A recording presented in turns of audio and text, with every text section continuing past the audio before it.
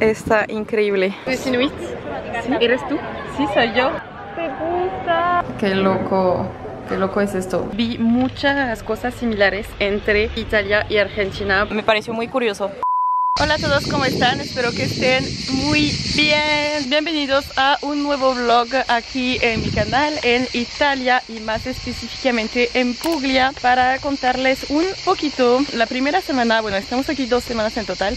La primera semana nos quedamos en la parte más, diría, céntrica de Puglia, en un pueblo que se llama Martina Franca. Les hice un vlog por si no lo han visto todavía les pongo por acá. Y para la segunda semana rentamos otro Airbnb que está en la parte más sur de Puglia. Hoy les quiero grabar este día. Nos vamos a la playa. Estamos caminando hacia una playa que se llama eh, Turchi. La pronunciación en italiano no es lo no sé hablar italiano para nada. En esta zona hay unas playas de verdad increíbles, el color del agua es hermoso. Llegamos a la playa, bueno que ahorita no es tanto playa, son más rocas. Sant Andrea, tienen que ver esto, está, está increíble, está hermoso, no sé cómo explicar esto.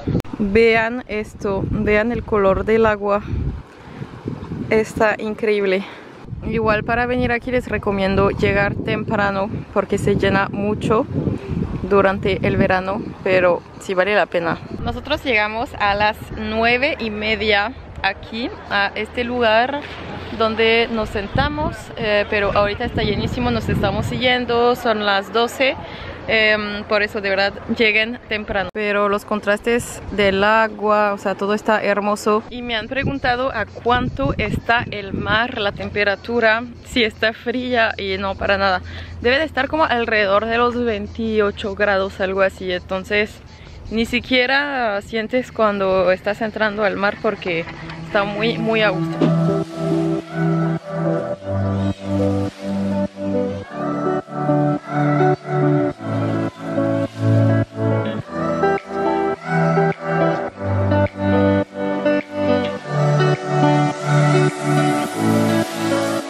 esto me pareció muy curioso. Estamos aquí en nuestras toallas y la pareja que estaba aquí se fue y nos dijo que se iba a regresar después pero nos dijo que si queríamos usar su sombrilla porque ahorita se van, luego regresan pero que ahorita no están usando esto. O sea, dejaron la sombrilla, sus sillas así se van de la playa y en un rato más supongo que se van a comer ahorita en un rato más van a regresar. Les llevo conmigo, nos estacionamos eh, hace rato porque aquí todos los estacionamientos para la playa tienen costo y no es barato, o sea, todo el día lo cobran 5 euros, aunque te quedas nada más de que una o dos horas, no pasa nada, tienes que pagar 5 euros, es una diferencia con Francia, por ejemplo, que eh, las playas por lo general pues encuentras estacionamiento sin costo, pero bueno, estas cosas que hay que saber, si vienes a Italia vas a tener que pagar los estacionamientos casi siempre. Y después de unos 15 minutos de caminata, llegamos a la playa. Son las 9 y media, 9.20 y ya hay bastante gente.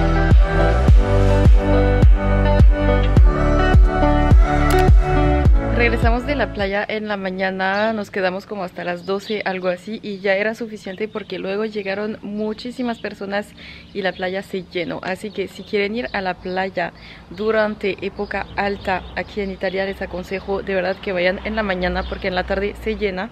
Y bueno, regresamos, comimos, fuimos al súper y aquí estamos en un Airbnb en un pueblo muy pequeño que se llama Giugianello y creo que en este pueblo es tan chiquito que ni siquiera viven 5.000 habitantes, de verdad es muy chiquito. No hay mucho que hacer, pero es un pueblo muy céntrico para ir a visitar todo lo que está alrededor y queda muy cerca igual de las playas.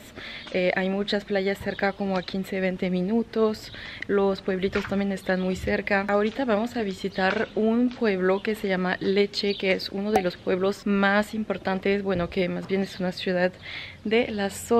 Vean aquí estas callecitas me hacen mucho pensar en Valladolid o Mérida en México con las paredes un poco despintadas, me encanta. Entonces vamos a visitar este pueblo Leche, les contaré qué tal.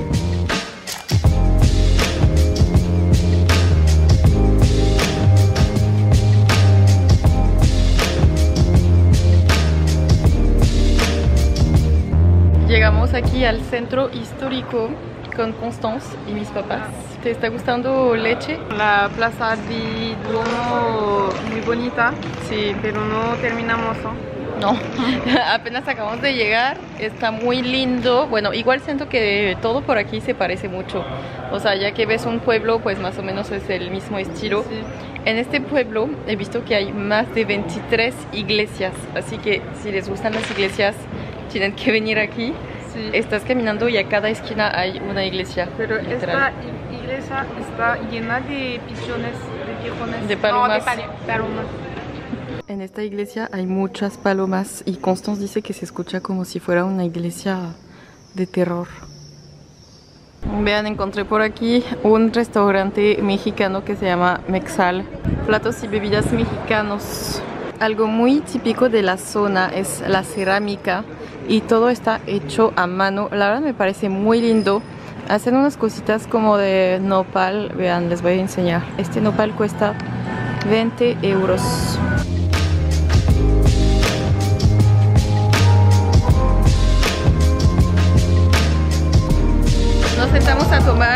Spritz y ahora estamos caminando. Les voy a contar, son las ocho y media y vean toda la gente que está aquí. O sea, de verdad las ciudades de Italia no tienen nada que ver de día y de noche. Hace rato cuando llegamos a las 6 5 6 no había mucha gente y ahorita bueno como pueden ver está súper lleno. Vamos a volver a la piazza del Duomo donde fuimos hace rato porque eh, nos dijeron que ya que hay muchos monumentos que se ve súper lindo de noche porque ilumbran todos los monumentos históricos. Así que vamos de nuevo para allá a ver qué tal. Pero me gustó mucho esta ciudad. Me imaginaba algo como más grande, pero está muy, muy lindo. El centro histórico, como todas las ciudades por acá, están muy lindos. Así se ve la piazza del Duomo. Sí, está muy lindo así de noche, todo iluminado. Y de hecho es una de las pocas plazas en Italia rodeada de monumentos. Está completamente cerrada por monumentos. ¿Tú eres inuit? ¿Sí? ¿Eres tú? Sí, soy yo. Sí, soy yo. ¿Te gusta?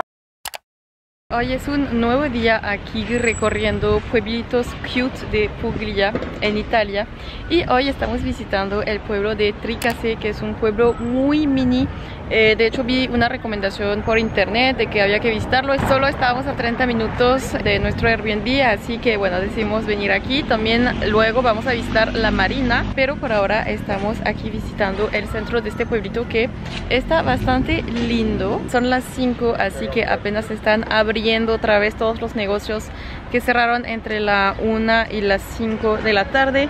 Eh, así que bueno aquí en este pueblo quería ver una tienda bastante famosa de cerámica porque en esta tienda hicieron eh, toda la cerámica del desfile del año pasado de hace dos años de Dior Dior Croisière. Así que quería ver un poquito de qué se trata. Aquí venden en libre servicio marihuana y tú tú puedes elegir eh, cuál quieres qué loco qué loco es esto en Francia no sería posible encontrar algo así Llegamos justo frente a la tienda que se llama Ceramiche Branca. Eh, bueno, dice en Google que abre a las 5, pero está cerrado. Y son las 5.20. Así que no sé, quería entrar para ver, pero aún así se puede apreciar un poquito por la vitrina. Y bueno, básicamente todo lo que hacen aquí es cerámica hecha a mano hay mil cosas. Y aquí al parecer es el taller y de hecho están secando aquí dos platos que me imagino que hicieron hace poco.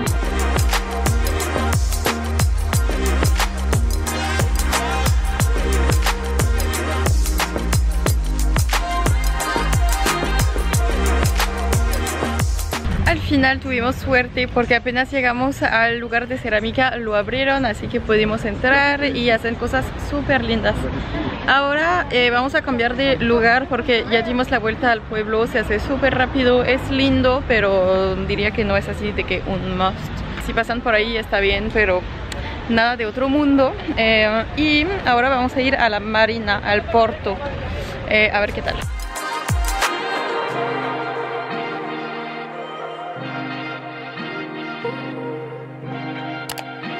Hoy es nuestro último día aquí en Puglia y estamos visitando el pueblo de Nardo. ¿Te gusta? Sí, me gusta. ¿Qué piensas? Muy bonito, muy pequeño, pero muy lindo. Y está muy chistoso porque son las 6 y ya están saliendo todas las personas. Llegamos hace como una hora, no había nadie. Y ya son las 6 y ya todos salen. Y la plaza central está muy bonita. Sí.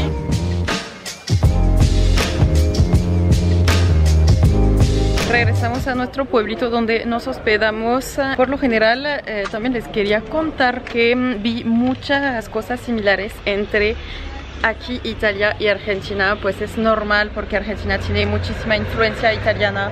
Argentina tiene muchos italianos viviendo allá que se fueron, que emigraron.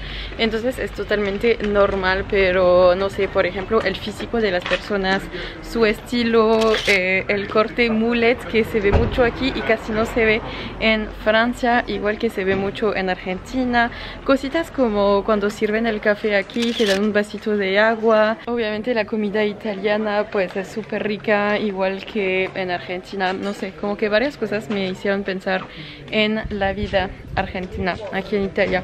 Pero sí, creo que es súper recomendado eh, hacer Puglia en dos partes, como lo hicimos nosotros, porque así sí recorrimos súper bien eh, Puglia y nos encantó. Ahorita llegamos pues a nuestro Airbnb y atrás están todos los señores.